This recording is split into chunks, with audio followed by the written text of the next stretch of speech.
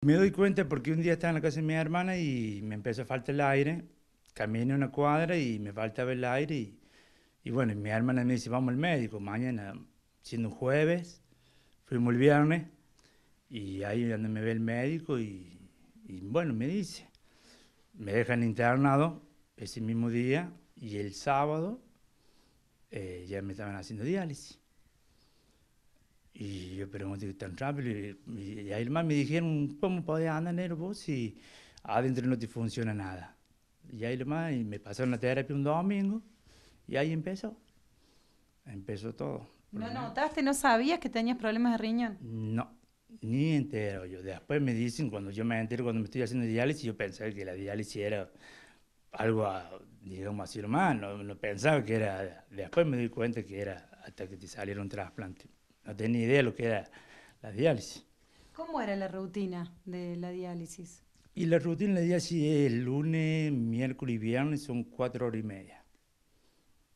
Va y a la mañana, tienes que estar ahí en el sillón, te conectan y bueno, espera que pasen las horas, cuatro horas y media.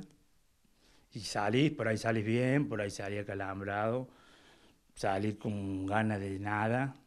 Y bueno, te tienes que venir, te compone al otro día y el miércoles vuelve a la misma rutina que era lo mismo.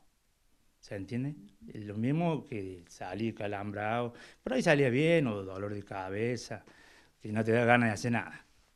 Y así durante siete años. Hasta que me llegó un día, me llamaron de Córdoba y me dicen, bueno, Nelo, dice, venite que, que está en la lista y bueno, y me fui a las seis de la mañana.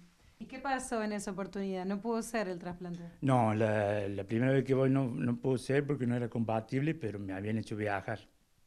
Después la segunda vez era compatible, viajo y me hacen unos estudios que te hacen antes del trasplante y justo me salió positivo el COVID y me tuve que volver.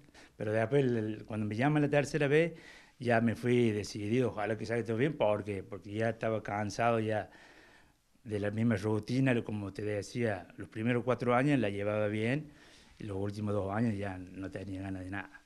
Y suena el teléfono a la mañana, el médico de Córdoba. Dice, Mauricio, sí, Mauricio Suárez, bueno, dice, te llamamos de acá de Córdoba, venite ya. ¿Cómo? Eh, a ver, espera, espera, explícame, venite ya. Sí, dice, porque te salió el trasplante acá, pues está positivo, todo.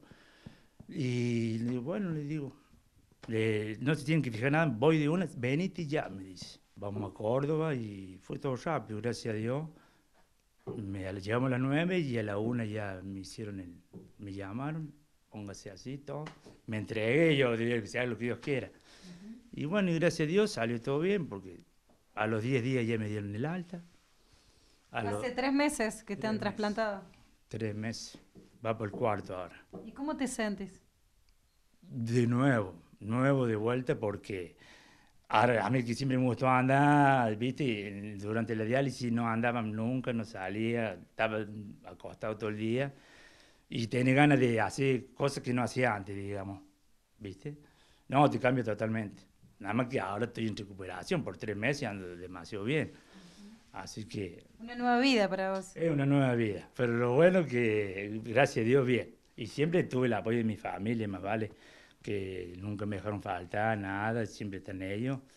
Y bueno, siempre estoy agradecido porque cuando me llamaban, mi familia era lo primero que estaban.